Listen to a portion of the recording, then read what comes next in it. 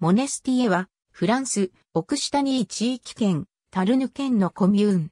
モネスティエは、アルビ近郊のカルモーから数キロメートルのところにある。セルー、川谷の中心地であり、アルビジョアにある鉄道路線のカルモーアバンドラック線が通る。10世紀の前半、信仰の場所とその周囲がルイ4世によりアルビのサンサルビー修道院長デオダに与えられた。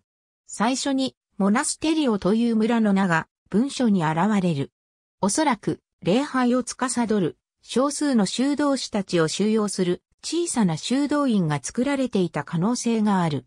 この土地への定住はさらに古い。村から600メートルのところ、セルー川とセレ川の合流地点にオッピドムが作られ、これは鉄器時代にすでに人が定住していたことを証明する。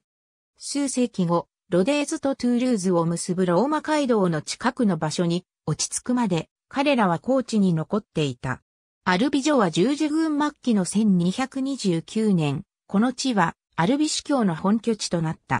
共同領主として村の守護の責任を負った。この時代の特徴的なバスティードの設計とは、対照的に村は教会を中心とした同心円状に作られている。13世紀、サンティアゴの巡礼者たちを収容するために施領所が防御壁の外に作られた。1550年にゴシック様式で再建された教会は古いロマネスク様式の教会建築の基礎の上に建てられた。18世紀の地方の経済ブームが村の発展をもたらした。年に13回の市場が開かれ、23人の商人がいたことが書物に記されている。村は主に麻の織物とロバの売買で発展した。